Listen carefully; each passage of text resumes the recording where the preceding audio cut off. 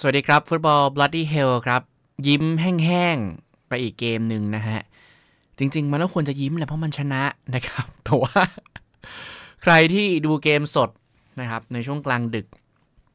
ก็คงจะเห็นตรงกันว่ามันไม่น่าจะยิ้มขนาดนั้น ส่วนใครที่ไม่ได้ดูเกมนี้แล้วมาดูคลิปนี้ตอนเช้าพอดีนะครับ ก็อยากจะให้ทราบว่ามาเต็ดชนะบูฟไป 1-0 นะครับ ก็เก็บ 3 แต้มได้ตามเป้าในแรกของฤดูกาลนั่นแหละ แต่ว่ารูปเกม สิ่งที่เกิดขึ้นเนี่ย มันไม่ได้เหมาะสมกับหน้าแบบนี้ฮะ มันเหมาะกับหน้าแบบนี้ฮะ ยิ้มแห้งๆ ยิ้มแบบเหนื่อยๆ ยิ้มแบบมีอะไรให้บ่นเยอะนะครับ ในส่วนของรูปเกมนะฮะ ซึ่งวันนี้ก็ต้องยอมรับว่าด้านบนนะครับ จะโดนตำหนิเยอะหน่อยซะเป็นส่วนมากนะครับ แล้วก็ที่สำคัญที่สุดนะฮะยูไนเต็ด ยังต้องเดินตลาดนี้ต่อครับ ตลาดนี้ผมว่ายังไม่จบแน่ๆนะครับเทนฮากต้องปรับต้องแก้อีกพอสมควรเหมือนกัน เจอวูฟครับ ในเกมนัดแรกนะครับ เปิดสนามพรีเมียร์ลีกก็จัดชุดที่คาดการว่าดีที่สุดลงเล่นนะครับ ซึ่งจริงๆก่อนเกมเนี่ย หลายคนก็มองแล้วประมาณนี้อยู่แล้วนะครับ ก็คือประตูโอนาน่านะครับเซนเตอร์คู่เป็นมาร์ติเนซกับวาราน ซ้ายชอว์นะครับมิดฟิลด์ก็เป็นคาเซมิโร่เมาท์บรูโน่ด้านบนก็แอนโทนีแรชฟอร์ดแล้วก็กานาโชซึ่งนักวิเคราะห์นะครับผู้ชัดกรณีก็มองว่ากานาโชดีพอใช่เป็นตัวจริงแล้ว อันนี้คือในมุมก่อนเกมนะฮะ ซึ่งอะสุดท้ายแล้วเทนฮากก็เลือกกานาโชลงตัวจริงจริง ๆ ที่ผมไม่ได้พูดตำแหน่งเดียวคือแบ็คขวา เพราะว่าตอนแรกเนี่ยก็ยัง ไม่ชัดเจนนะครับ ว่าเทนฮาจะเลือกใครระหว่างเดียโกดาโลหรือว่าวันบิซาก้าแต่ว่าดาโลเนี่ยปรีเซนไปพลาดแบบ เข้าตากรรมการนะครับ ในเกมเจอลองซี่โอนาน่าโดนยิงครึ่งสนามนั่นแหละนะครับ ก็เรียกวันบิซาก้าก็เป็นเรื่องที่เหมาะสมแล้วนะครับ เจอกับวูล์ฟส์ที่เปลี่ยนโค้ชนะครับ เพิ่งจะมาทำงานไม่นานนะครับ ไม่ถึงสัปดาห์สำหรับกุนซือใหม่อย่างแกรี่ โอนีลแต่ปรากฏว่าวันนี้เนี่ยทำวูล์ฟส์มาได้ดีมากกับการ press แดนบนนะครับ ตัดบอลในแดนตัวเองแล้วก็เน้นจังหวะโต้กลับ คือจริงๆวูล์ฟส์เนี่ย ตั้งแต่ในยุคนูโนเอสปิริโตซานโตแหละก็จะเน้นลักษณะนี้นะครับ แพ็กเกมรับให้แน่นแล้วก็หาจังหวะในการ โจมตีคู่ต่อสู้ด้วยตัวรุกด้านบนที่มันเร็วๆนะครับซึ่งตัวเร็ววันนี้ที่ไปกับบอลได้ดีแล้วก็เลี้ยงบอลไปข้างหน้าได้น่ากลัว ก็มีทั้งเปโดเนโตนะครับ แล้วก็มาติอุสคุนย่ารวมถึงพาโบซาราเบียด้วยนะครับ ซึ่งเป็นเกมที่ยูไนเต็ดเล่นไม่ง่ายครับ เล่นไม่ง่าย ส่วนหนึ่งคืออย่างที่บอกไปว่าวูล์ฟส์เนี่ย วันนี้มาดีครับวูล์ฟแฮมป์ตันมาดีแล้วก็ใช้คำว่าเขา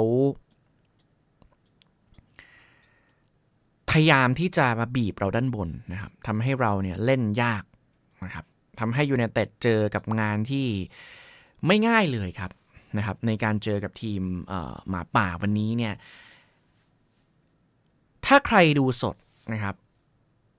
เราจะรู้สึกว่า เฮ้ย โอนาน่าดูศาสตร์ยาวมากเป็นพิเศษ โดยเฉพาะในช่วงครึ่งแรกนะครับ อย่างแรกเนี่ยอาจจะมองได้ว่า เป็นเพราะ คำสั่งแท็กติกของเอริกเทนฮากหรือเปล่า แต่อย่างที่2นะครับอยากให้ดูภาพนี้ว่าวูฟเนี่ยเขาไม่ได้วิ่งมาถึงโตโอนาน่าในการบีบเพรสข้างบนนะครับ แต่ว่าเขาทำให้โอนาน่ามีทางเลือกในการออกบอลยากจริง ๆ แล้วก็อย่างที่เราเคยคุยกันไปก่อนหน้านี้แล้วนะครับว่าในสถานการณ์ที่ตัวด้านล่างของยูไนเต็ดเนี่ยโดนประกบติดหมดแล้ววูล์ฟส์เนี่ยเขา mark ชัด mark ติดนะฮะ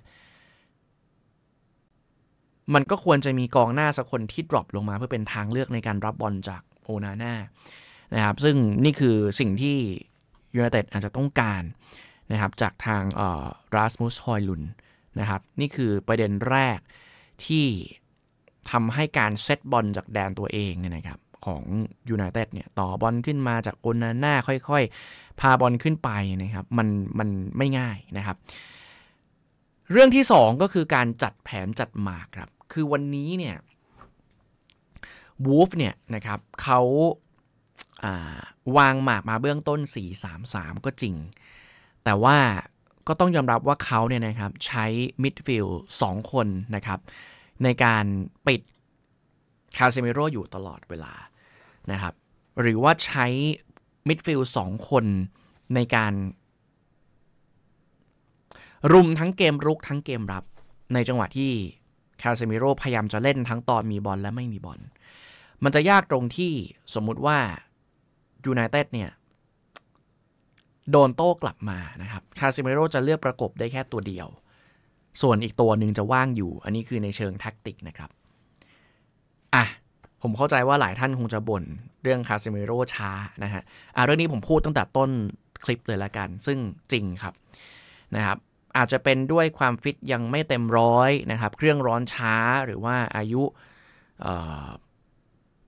รู้สึกว่าเริ่มเยอะแหละนะครับ น่าจะ 31 ละ แล้วก็สภาพร่างกายเริ่มถดถอย สปีดความคล่องตัวช้าลงนะครับ ซึ่งตอบไม่ได้เหมือนกันว่าเหตุผลมันคืออะไรนะครับ แต่ว่าช้าลงจริง ๆสำหรับคาเซมิโร่นะฮะ อีกหนึ่งจุดครับที่ทำให้ยูไนเต็ด เล่นยากในเกมนี้นะครับ มันมาจากสิ่งนี้ครับแฟนเพจแฟนช่องครับ มันมาจากการโดนใบเหลืองในช่วงต้นเกมของลิซันโดมาติเนส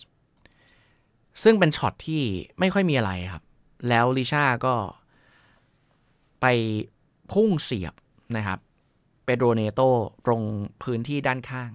นะครับคือเนโตถ่างออกไปริมเส้นนั่นแหละแล้วลิชาก็ไปเสียบสกัดนะครับ โดนใบเหลืองไปเข้าอันตรายแล้วก็ไม่โดนบอล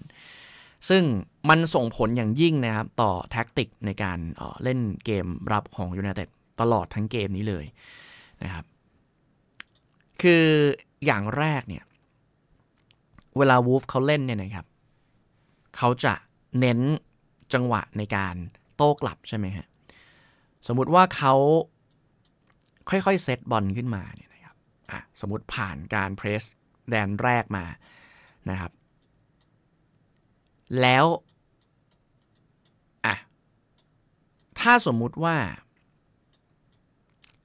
กองหน้าของเขาอะนะครับ ตัวเป้าอย่างมาติอุสคุนยาเนี่ยเขาดรอปต่ำลงมารับบอลเนี่ยนะครับ คนที่จะต้องเบรกเนี่ยนะครับ มี 2 คน คนแรกคือคาเซมิโร่นะครับ ถ้าคาเซมิโร่อยู่ข้างบนหรือเบรกไม่อยู่ปกติแล้วเนี่ยเซนเตอร์โดยเฉพาะสายแบบ stopper เนี่ยนะครับ เขาก็จะต้องมีหน้าที่ในการไปเบรกคู่หน้าที่ drop ต่ำลงมาเล่นนะครับ แต่ปัญหาคือลิซานโดร มาร์ติเนซเนี่ยไปโดนใบเหลืองเร็ว ซึ่งทำให้เขาเล่นยาก โดนใบเหลืองนาทีที่ 17 ครับ หลังจากนั้นคุณจะสังเกตว่า จังหวะโต้กลับของวูล์ฟส์เนี่ยไม่ได้มีอะไรนอกจากการอะนะครับตัวหนึ่งได้บอลปุ๊บพลิกหนีมาแล้วจ่ายหาคุนญ่าทีนี้ พอคุนญ่าเนี่ยดวลกับลิซานโดรมาร์ติเนซโดยเฉพาะในจังหวะที่เขาโต้เร็วเนี่ยนะครับ แล้วเราเสียบสกัดไม่ทันหรือดักบอลแรกไม่ทัน คุณต้องตัดเกมนะครับ อาจจะตัดด้วยวิธีดึงวิธี body check หรืออะไรก็แล้ว แต่แต่เผอิญว่าลิซานโดรมาร์ติเนซโดนเหลืองไปก่อนหน้านี้แล้วหลายจังหวะ เราก็เลยเห็นว่ามาร์ติเนซถ้าเขาดึงถ้าเขาผลักเหลืองที่ 2 กลายเป็นใบแดงยูไนเต็ดจะเล่นยากตั้งแต่ต้นเกมแน่ ๆ สุดท้ายลิซานโดรมาร์ติเนซก็เลยไม่กล้าเข้านะครับ เราก็จะสังเกตเห็นว่า midfield เนี่ย ถ้าสมมติคาเซมิโร่นะครับ เอาไม่อยู่ปุ๊บนะฮะมันยากเลยครับ มันยากเลยเพราะว่ามันจะไม่มีใครหยุดพอลิชาก็หยุดไม่ได้ เราก็ได้สังเกตเห็นว่า พื้นที่การป้องกันครับ ตั้งแต่ในส่วนคาเซมิโรตรงนี้นะครับ แล้วมาร์ติเนซขึ้นไปอยู่ข้างบนแล้วปั๊มไม่อยู่ยาวครับนะฮะ ฉะนั้นเนี่ยรายละเอียดเล็ก ๆ น้อย ๆ กับการโดนใบเหลืองต้นเกมของลิชามาร์ติเนซมันส่งผลเหมือนกัน จนสุดท้ายเนี่ย ต้นครึ่งหลังนะครับเอริกเทนฮากต้องเปลี่ยนวิกตอร์ลินเดเลิฟมาแทนมาร์ติเนซเพราะว่าคือมาร์ติเนซอยู่ในสนามเนี่ยเข้าบอลก็เข้าได้ไม่สุดอยู่แล้ว ความโดดเด่นของมาติเนสคือความดุดัน ความ aggressive นะครับความแบบเขี้ยวโหดในการเข้าบอลแต่มันไม่มีตรงนี้ปุ๊บเนี่ยมันเล่นลำบากก็เลยต้องเปลี่ยนเอาดินเดเลฟลงมาในช่วงครึ่งหลังนะครับนี่คือจุดเล็กๆ ที่มันมันเกี่ยวกับกับเกมนัดนี้นะครับ ซึ่งอะมันทำให้ ยูไนเต็ดเนี่ย เจอกับสถานการณ์ที่วิ่งตาม ภาษาแฟนบอลคือตามควายใช่ไหมคือวิ่งตามควายทุกครั้งนะครับ เวลาโดนเขาโต้มาเนี่ย แล้วถ้าเราหยุดจากบรูโน่ไม่ได้ เราหยุดจากเมสันเมาท์ไม่ได้คือมันลำบาก จุดสำคัญเลยนะ คือเจ้าโกเมสนะครับ กลางตัวต่อขออภัยกลางตัว box to box ของวูล์ฟส์เนี่ย นะครับเปโตรเนโตเอ่ยคุณย่าเอ่ยนะครับหรือแม้แต่มาเตอุสนูเนสเนี่ยเขาไปกับบอลได้ดีหมด แล้วบอลแรกเราเอาชนะเขาไม่ได้นะครับนี่คือสิ่งที่ต้องพูดกับกับการโดนวูฟส่องโดนจังหวะโต้กลับไปเยอะมากนะครับ ทีนี้เนี่ยในส่วนของเกมรุกเนี่ยนะครับผมว่ามีปัญหาหลักๆเลยนะครับ คือ พอยูไนเต็ดขึ้นเกมจากแดนหลังไม่ได้ นะครับมันก็จะย้อนกลับไปที่ภาพนี้ครับแฟนเพจแฟนช่อง มันจะย้อนกลับไปที่ภาพนี้ คือถ้าเราขึ้นเกมไม่ได้ สิ่งที่โอนาน่าทำอยู่ช็อตนี้คือพยายาม วางบอลยาวขึ้นไปนะครับ แล้วเป้าหมายเนี่ยอยู่ที่อเลฮานโดรการ์นาโช ประเด็นสำคัญก็คือว่าวันนี้เนี่ยเป็นวันที่การ์นาโช อันหนึ่งเล่นไม่ออกใช่นะครับ เกร็งก็ใช่นะครับแล้วเขาดวลกับเซเมโดเนี่ยวันนี้เซเมโดต้องยอมรับว่าเล่นดี แล้วการ์นาโชเอาชนะเซเมโดได้ น้อยนะครับ ไม่ค่อยมีความมั่นใจ จุดสำคัญก็คือสิ่งที่เคยเป็นจุดขายและทำให้แฟนบอลชื่นชอบกานาโชอนอกจากการเลี้ยงการกินตัวที่วูบวาบแล้วนะครับ จังหวะสุดท้ายเหมือนกานาโชเหมือนเกรงๆนะครับ เหมือนไม่รู้ว่าควรจะทำอะไร หรือรู้แต่ว่าดูเกรงไปหมด ตัดสินใจช้าคิดช้าทำช้าไปหมด มันก็เลยทำให้พอความมั่นใจในการเล่นจังหวะหนึ่งมันถูกทำลายไป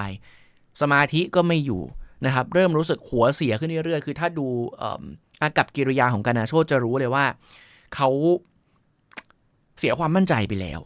นะครับ แล้วพอบอลจะขึ้นที่กานาโชแต่มันขึ้นไม่ได้ คราวนี้ก็ก็ยากลำบากแล้วนะครับ อีกหนึ่งนักเตะที่ครึ่งแรกอ่าโอเค ถือว่าวูบวาบนะครับ ก็คือแอนโทนีวูบวาบก็จริง นะครับมีจังหวะในการพาบอลขึ้นมาในพื้นที่ half space ฝั่งขวาแบบนี้ตรงนี้ แต่สุดท้ายเนี่ยพอคุณเปิดแล้วมันไม่เข้าเป้านะครับติดคิวแมนติดดอสันเปิดไม่ไม่ไม่ไปหาเพื่อนนะครับสุดท้ายมันก็ได้แค่วูบวาบเหมือนเดิม แต่มันไม่สามารถที่จะหาจุดที่มันจะทำให้ทีมได้ประตู มันไม่ได้มีศักยภาพมากพอทำให้มันเกิดสกอร์ได้นะครับ ฉะนั้นก็เข้าใจได้ที่แฟน บอลยูไนเต็ดที่ดูเกมเนี่ยบอกว่าเออการ์นาโชเกมนี้เล่นไม่ได้เลยนะครับเสียความมั่นใจไปด้วย 2 ก็คือแอนโทนีนะครับก็ยังเพิ่มความเข้มหรือว่าเพิ่มสิ่งที่มันจะทำให้เขามีอะไรมากกว่าแค่วูบวาบคือฤดูกาลที่แล้วทั้งฤดูกาลก็วูบวาบครับ แต่ว่าสุดท้ายเนี่ยมัน ต้องมีอะไรมากกว่านั้นมันต้องมีความเฉียบขาดนะครับซึ่งซึ่งมันยังไม่เกิดขึ้นในในเกมนัดนี้นะครับ อีกหนึ่งจุดที่ต้องระวังเหมือนกัน คือเราจะทราบกันอยู่แล้วว่าในหลายจังหวะ เวลาเราโหลดไปขึ้นเกมรุกด้านบน หรือว่าเราขึ้นไปบุกหมดเนี่ยนะครับคาเซเมโรจะไม่ได้ไปยืนต่ำคอยรองเพื่อนนะฮะบางจังหวะนี่คือเขาขึ้นไปข้างบนเลยนะครับแล้วทีนี้มันเกิดสถานการณ์นี้ฮะครึ่งหลังเปลี่ยนลินเดเลิฟลงมาแล้วนะครับแทน ลิชามาร์ติเนซมันจะเกิดสถานการณ์ที่อ้าวขึ้นไปกันหมดนะครับ แล้วลงกันไม่ทัน เราเบรกตรงนี้ไม่ได้ เราเบรกพื้นที่ตรงนี้ไม่ได้นะครับ อย่างเช่นช็อตนี้ที่ผมจะเอามาให้ดู เป็นช็อตที่สุดท้ายนะครับ ต้องวิ่งตามกันลงไป แล้วเปโดรเนโตก็ได้ยิงนะครับ แล้วก็ติดเซฟของโอนาน่ามันเริ่มจากช็อตนี้ครับ มันเริ่มจากช็อตที่เรา จะได้บอลทางฝั่งขวาอยู่แล้วแอนโทนีนะครับน่าจะเป็นแอนโทนีจริงๆช็อตเนี้ยไม่รู้จะยิงหรือจะจ่ายแหละนะครับ แต่สุดท้ายเนี่ยเขาไปเลือกให้กับบรูโน่ที่ตามลงมาจากข้างหลัง คือคือช็อตนี้เนี่ย ถ้าเห็นภาพเนี่ยนะครับ คาซิเมโรเรียกแล้ว เฮ้ย เปิดมา เปิดมาจะมง ว่างอยู่เลยนะครับสุดท้ายไม่จ่าย ตัวที่ว่างอยู่นะครับไปเลือกคืนให้บรูโน่ทีนี้ ก็โดนผู้เล่นของวูฟเนี่ยนะครับเขาดักไว้อยู่แล้วนะฮะพอดักเสร็จปุ๊บนะครับ ปัญหามันจะเกิดอย่างที่ 2 คือ 1. คาเซมิโรไม่อยู่ในตำแหน่งที่สกรีนเกมรับแล้วพอขึ้นไปข้างบนแล้ว 2. นะครับคือตัวที่พยายามจะหยุดอย่างบรูโน่เฟอร์นันเดสเนี่ยที่ที่กำลังมีจังหวะปะทะกันอยู่นี่นะครับ ที่อยู่ข้างข้างๆวงกลมสีขาวเนี่ยปั๊มไม่อยู่คราวนี้เรียบร้อยครับ นะครับเกิดสถานการณ์ที่วิ่งตามกันไป คุณจะเห็นว่า shape การยืนนะครับ shape การยืนไม่มีเลยนะครับคือเป็นจังหวะที่แบบไม่มีใครยืนอยู่ในตำแหน่งที่ควรจะยืนนะวิ่งตามมากันหมดนะครับแล้วสุดท้ายนะฮะช็อตนี้ก็เกือบโดนยิงนะครับฉะนั้นจุดสำคัญคือเวลาคาร์เซโรเติมขึ้นไปเนี่ยแล้วพอไม่มีลิซานโดรมาร์ติเนซเติมขึ้นมานะครับเพื่อคอยเบรก หรือว่าดันสูงขึ้นมาเพื่อเบรกเกมเนี่ย เราไม่มีตัวตรงนี้ครับ เพราะว่าลินเดเลิฟเนี่ยหลักๆ เขาก็ไม่ใช่ตัวที่จะคอยดันสูงขึ้นมาแล้วก็เข้าบอลแรกดุดันแบบแบบที่ลิชาทำได้อยู่แล้วนะครับฉะนั้นเทนฮากต้องไปปรับตรงนี้ว่าจังหวะที่คาเซมิโรดันสูงขึ้นไป คนที่มารองคนที่ cover อยู่ด้านหลังเนี่ยนะครับ คือใครนะครับ แล้วถ้าไม่มีมาร์ติเนซเนี่ยจะใช้คนไหนในการลงมาประคองตรงนี้ ซึ่งลินเดเลิฟยังไวไม่พอนะฮะอะผมไปที่อีกหนึ่งปัญหานะครับ ก็คือการยังไม่มีกองหน้า ซึ่งจริงๆเนี่ยเรื่องนี้เนี่ยมันแก้ด้วยตลาดซื้อขายไม่ได้ครับ เพราะว่าอะอาจจะเป็นด้วยว่าบราสมุสทอยลุนเกมนี้ยังลงสนามไม่ได้ เพราะว่ายังไม่ฟิตนะครับ สิ่งที่มันจะเกิดก็คือภาพนี้ครับ ภาพนี้เลยครับ เราขึ้นเกมมาทางด้านซ้าย นะครับแล้วสถานการณ์ที่โอเคแรสฟอร์ดทางเอาไปเล่นด้านซ้ายแล้วนะครับไม่ว่าจะเป็นเมสันเมาท์ไม่ว่าจะเป็นลุคชอว์นะครับหรือแม้แต่การ์นาโชคือทุกคนอยู่ข้างนอกหมด สิ่งที่เกิดขึ้นคือไม่มีใครเข้าไปในกรอบ ในจังหวะที่มันควรจะเปิดเข้าไปได้ โอเคช็อตนี้คุณจะเห็นว่าแอนโทนีนะครับจากด้านขวาเขาพยายามจะหุบเข้าไปด้านใน เพื่อเข้าไปเป็นตัวชาร์จในกรอบเขตโทษ แต่จังหวะวิ่งเข้ากรอบเขตโทษของแอนโทนีบางทีมันก็ช้าไป ฉะนั้นในบางจังหวะคุณต้องมีกองหน้าประจำในกรอบ ซึ่งยูไนเต็ดยังไม่มีกองหน้า striker อะหลายคนจะบอกเฮ้ยแรชฟอร์ดไง แต่สุดท้ายแรชฟอร์ดคือ forward ครับแรชฟอร์ดก็ไม่ใช่กองหน้าตัวเป้าอยู่ดี โดยเฉพาะจังหวะที่เขาออกไปเล่นนอกกรอบ ไม่มีตัวผู้เล่นในกรอบ มันย้อนกลับไปตั้งแต่ เทนฮากให้ซานโชเล่น false nine ตั้งแต่ตอน pre-season แล้วครับ แล้วมันก็จะเกิดปัญหาคล้ายกันก็คือว่า ในจังหวะที่ซานโชถ่างออกไปเล่นด้านข้าง หรือถอยออกมาเล่นนอกกรอบเขตโทษตัว เข้าไปในเขตไม่มีนะครับ นี่คือปัญหาทั้งหมดที่มันเกิดขึ้นนะครับอะทีนี้นะครับไปดูประตูนะครับที่เกิดขึ้นนะครับ ประตูเดียวในเกมนี้นะครับช็อตนี้ผมชื่นชมอยู่นะครับ ชื่นชมเอ่ออยู่ 2 อย่างด้วยกันในเชิง tactic นะครับ อย่างแรกก็คือว่า เป็นจังหวะที่ยูไนเต็ดเนี่ยได้บอลทางขวาก่อนแล้วแล้วก็จ่ายบอลย้อนกลับมาให้กับบรูโน่เฟอร์นันเดสช็อตนี้ผมชมบิสซาก้านะครับ เพราะว่าเขาเห็นช่องว่างนะครับ บริเวณฮาร์ฟสเปซฝั่งขวา แล้ววันวิซาก้าเนี่ยเติมขึ้นไปนะครับ ในจังหวะที่ผู้เล่นวูฟเนี่ยปล่อยพื้นที่ว่างตรงนี้นะครับ ผมไม่แน่ใจว่าพยายามจะเช็คล้ำหน้าหรือเปล่านะครับ เพราะว่าในกรอบเขตโทษก็ชิงจังหวะกันอยู่นะครับแต่วันวิซาก้า สอดเติมไปนะครับ แล้วก็เลี้ยงลายดีไม่ล้ำหน้าสุดท้ายเนี่ย มันก็เลยมีจังหวะที่กระดกเข้าไปนะครับ ให้ราฟาเอลวารานโหม่งประตูได้ ซึ่งสิ่งที่ผมชอบในช็อตนี้ก็คือว่ายูไนเต็ดเอาผู้เล่นเข้าไปในกรอบเขตโทษเยอะนะครับช็อตนี้เราจะเห็นว่าในกรอบเขตโทษตัวจบเนี่ยมี 4 คนไล่ไปเลยนะครับซานโชวารานแรชฟอร์ดนะครับแล้วก็คาเซมิโร่พี่ใหญ่ของเรานะครับ แล้ววูล์ฟมี 3 คน แบบนี้เรามีโอกาสได้ประตูสูงนะเพราะว่าเนี่ยครับเรามีตัวจบที่เข้าไปอยู่ในเขตโทษค่อนข้างจะเยอะนะครับและจังหวะนี้มิซาก้าก็เปิดได้ดีด้วยนะครับ ก็ต้องชื่นชมกับประตูขึ้นนำแล้วก็ในสถานการณ์ที่เกมมันอึดอัดมากเกมนี้เราต่อบอลทำเกมนะครับกันไม่ได้เลยนะครับ ส่วนหนึ่งคือออผู้เล่นของวูฟเนี่ยเขาเพรสซิ่งดีนะครับ แล้วจังหวะที่เราเบุกไปในแดนเขาเนี่ยเขาก็แพ็กกันแน่นด้วยนะครับแพ็กกันแน่นจนเราเจาะได้ยากแล้ว ตัวทำเกมนะครับหนึ่งเลยคือบรูโน่เล่นบอลยาก เล่นกับบอลได้ยากนะครับเพราะหลักๆคือโดนโดนคุมอยู่ค่อนข้างจะเยอะนะครับ แล้วก็อย่างที่คุยกันไปคือทั้งแอนโทนีแล้วก็กานาโชเนี่ยเปิดบอลเข้าไปได้ไม่เยอะเท่าไหร่นะครับ แต่ว่าอีกหนึ่งจุดที่ผมเกือบลืมนะครับ เกือบจะลืมแล้วก็ไม่พูดไม่ได้นะครับ ก็คือการปิดทองหลังพระของเมสันเมาท์วันนี้ในเชิงเกมรุกเราจะบอกได้ว่าเออเมาท์ก็ยังทำอะไรได้ได้ไม่เยอะเหมือนเดิมนะครับ แต่ก็ขอภาพนี้มาให้ดูเพื่อจะบอกว่า และย้ำอีกครั้งนะครับว่าเมสันเมาท์ไม่ใช่ playmaker นะครับ หน้าที่ของเขาอะจริง ๆ แล้วนะครับ คือเป็นเฟรดอัปเกรดนะครับแล้วจังหวะแบบนี้แหละครับ คือจังหวะไปช่วยในช็อตที่คาเซมิโร่ ลงมาไม่ทัน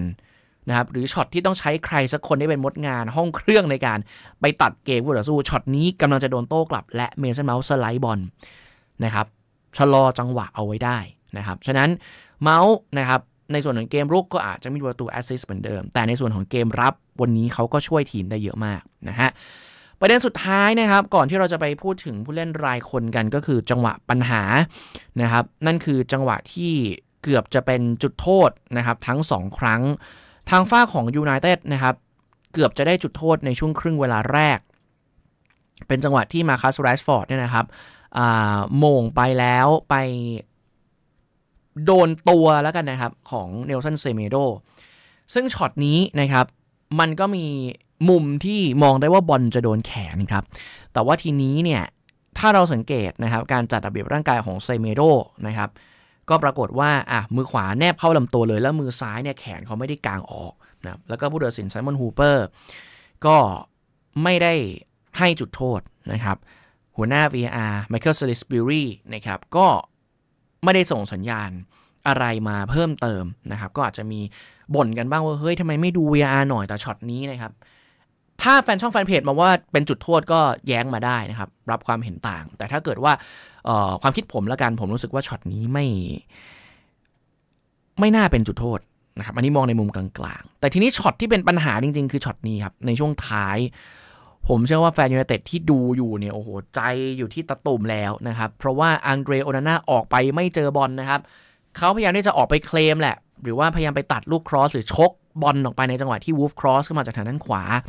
นะครับ แล้วก็พยายามกางแขนมาเพื่อเพื่อพยายามป้องกันประตูแต่ว่าสุดท้ายเนี่ยไปชนนะครับเข้ากับซาซาคาลาสิสสูน้าร่างใหญ่ของวูฟนะครับ ซึ่งช็อตนี้เนี่ยโอ้โหผู้บรรยายนะครับ หรือแม้แต่นักวิเคราะห์ก็มองว่า โอ้โห มันมีโอกาสสูงที่จะเป็นจุดโทษเลยแหละ โดยเฉพาะหลังจากที่ไซมอนฮูเปอร์เนี่ยนะครับ เดินไปนะครับจากกลางสนามนะครับ ไปที่ข้างสนาม แต่ไม่ได้เดินไปดู VAR ครับเขาเดินไปให้ใบเหลืองออทางแกรี่โอนิลที่มาโวยว่าจังหวะนี้ทำไมไม่ได้จุดโทษ แล้วทีนี้มันมีกฎใหม่นะครับ คล้ายกับนักเตะเลยคือ ถ้าผู้จัดการทีมมาโวยมากเกินก็โดนใบเหลืองเหมือนกันช็อตที่เดินออกไปอะนะครับสิ่งที่มันมันเห็นก็คือว่าผู้ตัดสินนะครับเขาไม่ได้ทำมือแบบนี้เขาไม่ได้ทำมือแบบแบบนี้ เขาไม่ได้ทำคือเขาแค่เดินไปเฉยๆนะครับ แล้วสุดท้ายก็ไปให้ใบเหลืองใช่ปะแต่นะครับ ก็ผมก็ได้ไป สอบถามพี่วาวจารุวัตรที่บรรยายทางเอ่อ True Vision อยู่แล้วนะครับ แล้วพี่วาวเองในเรื่องของกฎกติกาเนี่ยเขาก็แม่นอยู่แล้วนะครับ ผมก็ถามความเห็นพี่วาวไปว่าเฮ้ยจังหวะนี้เนี่ยเอ่อทำไมถึงไม่เป็นจุดโทษ ถ้ามันจะไม่เป็นจุดโทษนะฮะพี่วาวมีมุมมองแบบนี้ครับ อย่างแรกนะครับ ถ้าเราย้อนไปดูช็อตนี้ช้าๆนะครับ เราจะสังเกตว่าโอนาน่าไม่ได้ไปชนกับคนที่โหม่งโดนบอลครับ เพราะว่าคนที่โหม่งบอลช็อตนี้คือเคร็กดอว์สันนะฮะเนี่ยครับ คือโอนาน่าออกไปไม่เจอบอลก็จริง แต่ไม่ได้ไปปะทะกับคนที่เล่นกับบอลได้ อันนี้อาจจะเป็นเหตุผลหนึ่งนะฮะ อันนี้อาจจะเป็นเหตุผลหนึ่งนะครับ และอีกหนึ่งจุดที่ถ้าผู้ตัดสินจะไม่ให้จุดโทษนะครับ ก็คือ โอนาน่าเนี่ยเขาไม่ได้ไปโดนใบหน้านะครับของของคาราซิชนะครับอาจจะเป็น 2 เหตุผล คือยังไงดีล่ะ ถ้าแฟนช่องแฟนเพจ หรือว่าผู้รับชมที่เป็นแฟนทีมอื่นมาดูเนี่ยนะครับ ก็อาจจะบอกว่าเออนะครับ มันเข้าข้างหรือเปล่า คุณไม่เป็นกลางหรือเปล่านะครับ เพราะว่าอะแมยูเต็ดได้ประโยชน์ถูกไหมฮะในจังหวะนี้ แต่คือ ก็ต้องบอกก่อนว่าเวลาผมคุยเรื่องการตัดสินเนี่ยส่วนใหญ่มันต้องเป็นกลางอยู่แล้ว คือจังหวะเนี้ยก็ต้องบอกตามนี้ครับสำหรับแฟนเพจแฟนช่องทีมอื่นนะครับ คือให้จุดโทษก็ได้ครับ คือในมุมของวิจารณญาณของผู้ตัดสิน หรือว่าทีมงาน VR บางคนก็จะส่งสัญญาณว่าลูกนี้เนี่ยมันควรจะเป็นจุดโทษก็ได้นะครับ สุดท้ายนะครับในมุมพี่วาวนะที่คุยกันพี่วาวบอกว่าเออ มันก็คือวิจารณญาณของผู้ตัดสินแต่ละคน ซึ่งจังหวะนี้เนี่ย นะครับทางไซมอนฮูเปอร์ผู้ตัดสินหลักนะครับไม่ได้เป่าให้มันจุดโทษตั้งแต่แรก และทางเอ่อซอลส์บิวรีนะครับหัวหน้า VR ก็ไม่ได้ส่งสัญญาณเพิ่มเติมเพื่อบอกให้ฮูเปอร์ไปดู VR ซึ่งอะผมก็จะต้องบอกว่าถ้าถ้ามันจะเป็นจุดโทษคือมันชัดอยู่แล้วนะครับวิ่งไปชนกันเอามีมือออกไปนะครับแต่ถ้ามันจะไม่ใช่จุดโทษมันมี 2 สาเหตุคือโอนันอาไม่ได้ไปใช้มือไป ปัดศีรษะของตัวที่โมงอย่างเครกดอสันคือเขาไปชนนะครับ กับตัวที่ไม่ได้โมงบอลก็คือเป็นจังหวะที่พยายามเข้าหาบอลทั้งคู่ แล้วก็ไปชนกันนะครับ อาจจะมีมือมาบ้างแต่ว่า คือช็อตที่โอนาน่าเขาพยายามจะป้องกันประตูเนี่ย มือเขากางออกอยู่แล้ว แล้วจังหวะที่บอลมันตกเนี่ยครับ มือมันก็ต้องไปตกที่ไหนสักที่หนึ่งแล้วมันก็ไปชนกับคาราซิชนะครับ คือเรื่องมันก็เป็นไปด้วยประการราชนี้นะครับ ซึ่งผมก็ต้องย้ำว่า เราไม่มีสิทธิ์ไปฟันธงอยู่แล้วว่าช็อตนี้มันมันจุดโทษหรือว่าไม่จุดโทษนะครับ มันมันก็อยู่ที่วิจารณญาณของผู้ตัดสินแต่ละคนนั่นแหละ ซึ่งอาจจะบอกว่าเป็นเขาเรียกว่าไงดีเป็นช็อตที่การตัดสินมันเข้าทางแมนเชสเตอร์ยูไนเต็ดแต่ผมย้ำว่าถ้าจะมองว่ามันไม่ฟาวหรือว่าเป็นจุดโทษเนี่ยสาเหตุก็คือ 1 อันนี้พูดซ้ำแล้วนะฮะแต่จะซ้ำอีกรอบหนึ่งนะครับสั้นๆคือ 1 โอนาน่าไม่ได้ไปชนหรือปะทะกับตัวที่ได้เล่นบอลนะครับ และ 2 คือเอ่อมันไม่ได้ไปโดนใบหน้าของนักบอลคู่ต่อสู้ เราสังเกตถึงว่า ถ้าสมมติไปปัดโดนหรือว่าตบโดนชกโดนใบหน้าอะไรอย่างเงี้ยนะครับ ก็มีโอกาสจะเป็นจุดโทษสูงนะครับนะแต่ก็ต้องย้ำว่าเป็นวิจารณญาณไปนี่คือช็อตปัญหาที่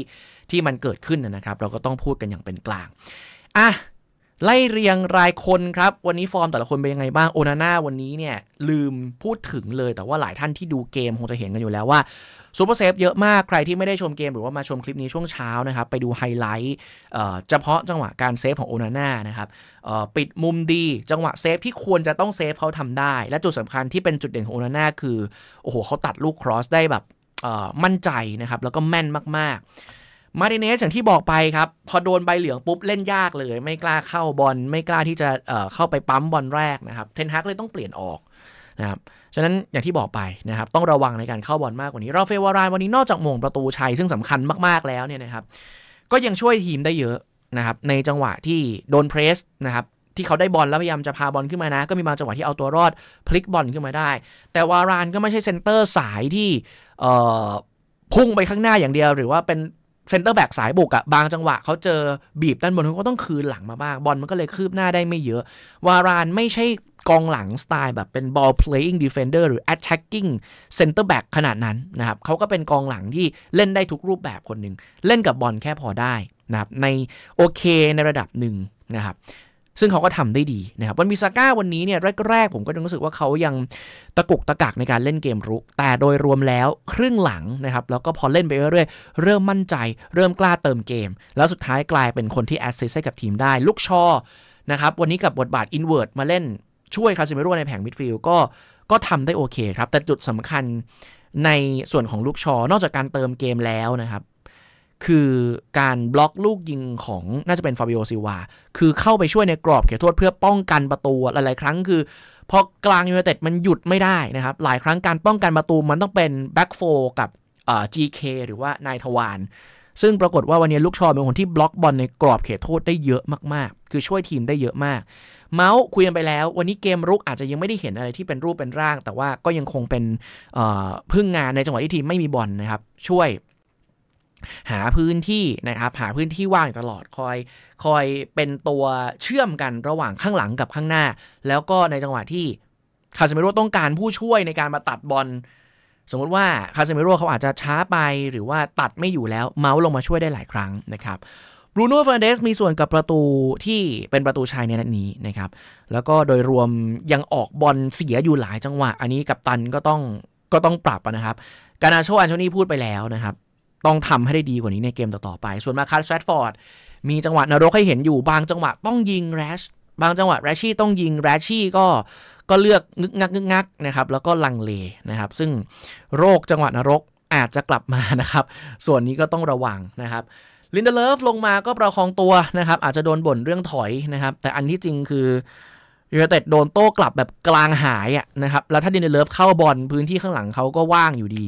นะฮะฉะนั้นก็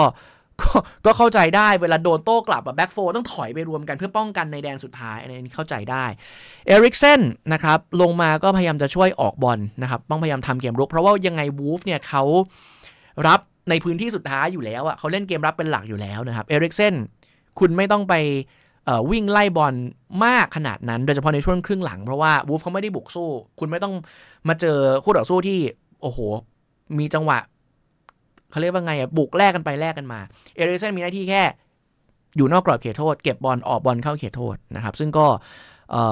ยังไม่ได้มีอะไรโดดเด่นมาก แต่ก็ไม่ได้แย่นะครับฟาคุนโดเปลลิสตรีมีจังหวะวุบวาบเหมือนกันนะครับกับจังหวะที่รู้สึกบรูโน่หยอดไปข้างในมั้งแล้วก็เกือบเข้าชาร์จนะครับมีความวุบวาบประมาณหนึ่งแต่ก็ยังไม่มีจังหวะโดดเด่นมากมายนะครับสกอตแม็คโทมิเนย์ลงมาแทนแรชฟอร์ดในช่วงท้ายมาเป็นตัวรับนะครับในการเล่นลูกกลางอากาศหรือว่า เป็นนักเตะที่จะสร้างความแข็งแกร่งในแผงมิดฟิลด์และจอร์ดอนซานโช ผมไม่รู้ว่าหลายท่านมองซานโชยังไงในเกมนี้ แต่สำหรับผมการลงมาแทนการ์นาโชเนี่ยนะครับซานโชเลี้ยงผ่านกูเดอร์สู้ได้เยอะ แล้วก็พาบอลไปข้างหน้าอย่างมั่นใจมากขึ้นซานโชหลักๆเนี่ยนะครับจะเล่นทางฝั่งซ้ายวันนี้นะครับและปรากฏว่าซานโชลำเลียงบอลเลี้ยงบอลพาบอลเข้าไปในพื้นที่สุดท้ายได้เยอะมากนะครับเพียงแต่จังหวะสุดท้ายเนี่ยมัน อาจจะไม่มีจังหวะจ่าย key pass นะครับหรือว่าจังหวะจ่ายสำคัญให้มันเกิดสกอร์เท่านั้นเองนะครับโดยรวมถ้าจะให้หานักเตะที่เล่นดีที่สุด ผมให้โอนาน่าผมมาดูทุกท่านจะให้ใครอันนี้แฟนเพจแฟนช่อง ก็พิมพ์กันมานะครับว่าคุณอะผมถาม 2คำถามแล้วกันนะครับ มาออตอบกันได้ในคอมเมนต์นะครับเหมือนกับทุกคลิปของ Football Bloody Hell คำถามแรกคุณคิดว่าใครเล่นดีที่สุดในเกมนี้ และควรจะเป็น man of the match อย่างที่ 2 ใคร คือนักเตะที่ผิดหวัง น่าผิดหวังที่สุดในมุมของคุณ อ่าสำหรับผมแล้วกันนะครับ เกมนี้นะครับโอนาน่าคือ man of the match กับจังหวะเซฟสำคัญมากมายนะครับ ไม่รวมจังหวะปัญหาที่มันก้ำกึ่งว่าจะเสียจุดโทษไหมนะฮะส่วนที่เล่นได้น่าผิดหวังนะครับจริง ๆ ผมให้การ์นาโช แต่ถามว่าคาเซมิโร่เขาน่าผิดหวังด้วยตัวฟอร์มเขาไหม ผมมองว่าด้วยเรื่องสภาพร่างกาย อันนี้น่าเป็นห่วงจริง เพราะว่าเขาเคลื่อนตัวนะครับ ไม่ว่าจะเป็นตอนมีบอลหรือไม่มีบอลได้ช้าลง เราเห็นว่าคาเซมิโร่ช้าลงจริง ๆ ซึ่งอันนี้ผมยังหาคำตอบไม่ได้ว่าอะเพราะว่าเขาแค่อายุเยอะขึ้นนะครับกับอายุ 31 ปี หรือว่าเขาอาจจะยังไม่ฟิตเต็มที่นะครับ อันนี้ยังหาคำตอบไม่ได้จริง ๆนะครับ เอ่อ ก็ตามนั้นไปนะครับยูไนเต็ดเจอกับสเปอร์นะครับ น่าจะเป็นเกมต่อไปในช่วงสุดสัปดาห์นี้นะครับ ก็น่าจะเตะในช่วงวันเสาร์นะครับ ถ้าเข้าใจไม่ผิดนะครับ ก็คือในช่วงเวลาประมาณสี่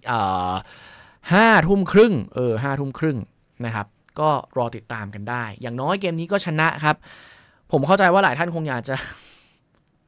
อยากจะบน่นอยากจะวิจารณ์กันแหละ เพราะว่าโดยรวมเราเล่นไม่ดีจริง ๆ ผมให้พื้นที่ทุกท่านเต็มที่เลยนะครับนะส่วนจุดโทษ คุณมองว่าควรได้หรือไม่ได้ยังไงนะครับ หรือแฟนทีมอื่นจะเข้ามาเนี่ย ผมก็ต้องย้ำว่าเราเป็นกลางนะนะครับ แล้วก็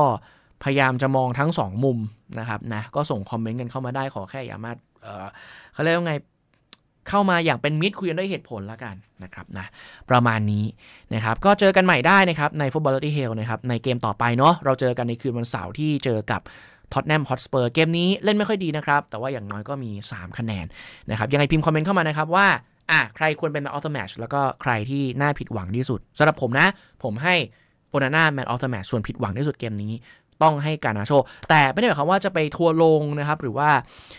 จะไปตำหนิการ์นาโช่ขนาดนั้น คือโดยเฉพาะนักเตะดาวรุ่งเนี่ยสิ่งที่มันยัง